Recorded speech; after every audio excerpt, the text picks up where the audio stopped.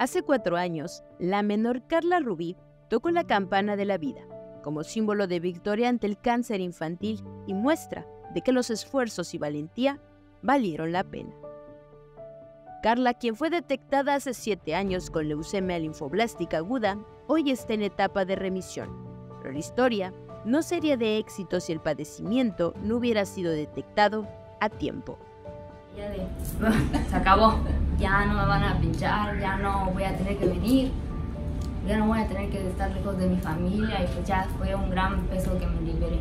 Por suerte tuve el apoyo de todos mis compañeros y de mis amigas que me estuvieron apoyando todo el tiempo, así que eso, esa parte estuvo como que muy bien para mí. Tras los primeros síntomas, los padres de Carla le realizaron estudios y fue ahí donde se les confirmó el diagnóstico y dio inicio la dura batalla contra el cáncer infantil. Recordarlo todavía duele, pero es un dolor tan intenso que a ningún padre se le desea de verdad. Pero pues no hay de otra más que quizás llorarle dos, tres días y tomar la decisión de qué es lo que se tiene que hacer porque pues está la vida de nuestra hija y o sea, es, es intenso, es inmenso y no hay manera de poderlo describir. Al principio pues yo creo que uno no sabe ni dónde está parado.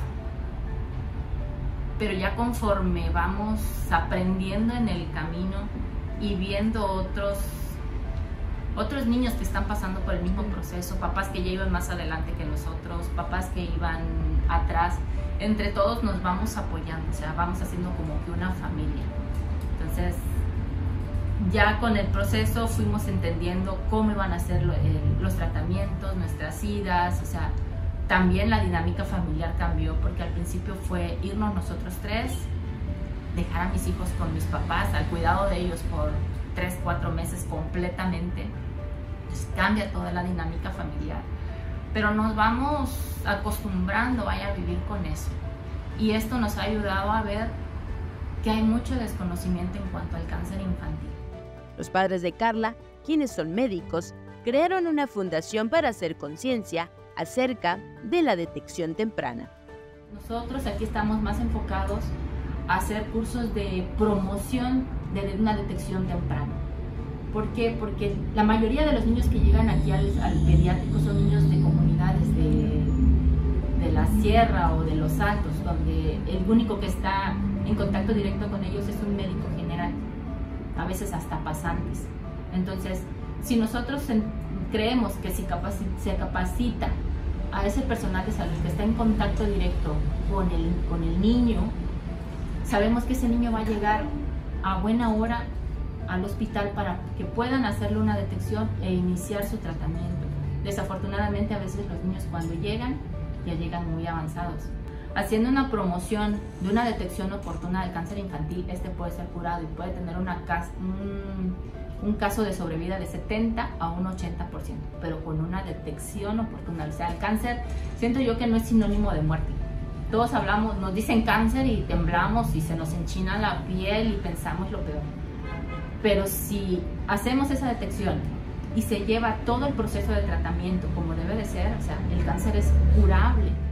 En Chiapas, de acuerdo con el Hospital de Especialidades Pediátricas, en 2023 se atendieron a 350 menores con algún tipo de cáncer infantil, de los cuales más de 200 fueron casos nuevos. Aproximadamente nosotros estamos detectando más de 200 pacientes por año con patologías diversas, dentro de las principales que tenemos son las leucemias y los tumores cerebrales.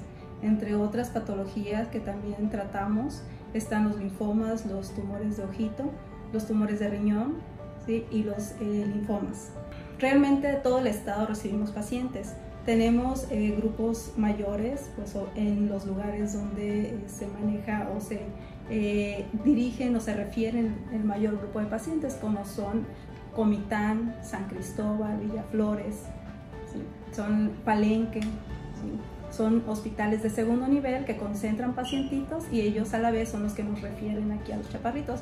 Pero realmente recibimos pacientes desde Revolución Mexicana, recibimos pacientes de eh, San Juan Chamula, de todo, de todo el estado nos llegan pacientes. En el marco del Día Internacional contra el Cáncer Infantil que se conmemora el 15 de febrero, la menor Carla Rubí mandó un mensaje de aliento a todos aquellos que están enfrentando esta enfermedad. Que no se rindan, que sean resilientes, confíen en Dios, en sus padres, en sus médicos, hermanos, amigos, en todo y que no, que no se rindan, que pronto se va a acabar. Detecten a tiempo, porque eso sabe mucho y también donen sangre y donen pelucas, porque la verdad tener una peluca durante esos momentos, pues sí, como que te ayuda mucho y te sube cierta parte de tu autoestima. Para Alerta Chiapas, Rubí Zúñiga.